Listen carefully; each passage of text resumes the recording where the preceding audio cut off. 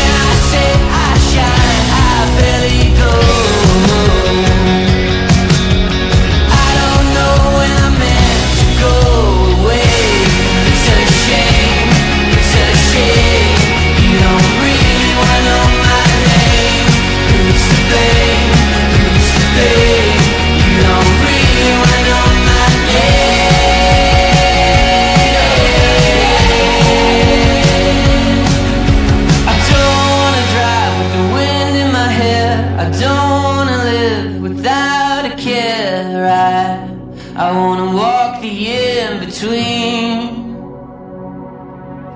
The time for empathy.